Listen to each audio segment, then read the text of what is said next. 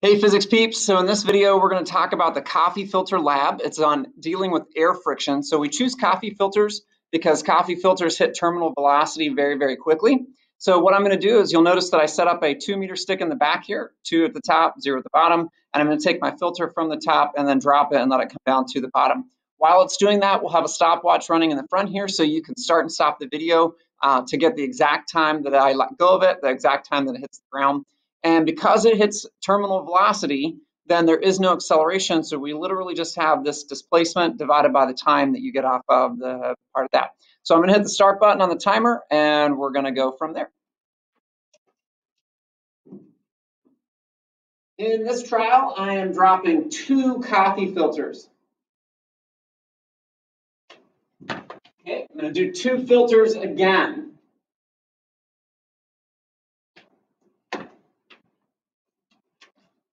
This is three filters.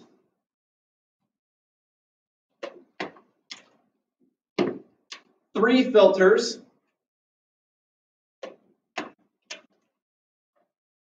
Four filters. Four again.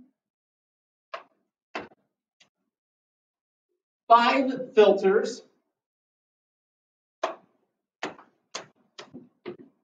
Five again. Six filters. Six again. Seven filters. Seven second time. Eight filters.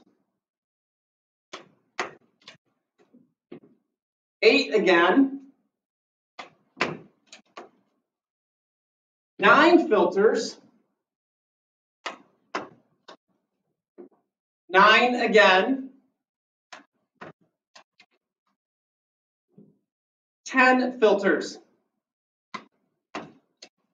And lastly, 10 for the second time.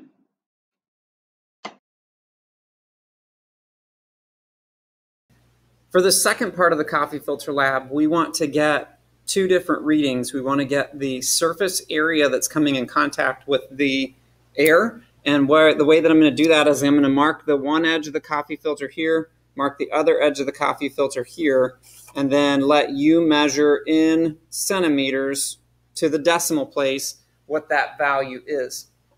The second one reading that we want to get is we want to get the mass of each coffee filter. So this is 10 filters.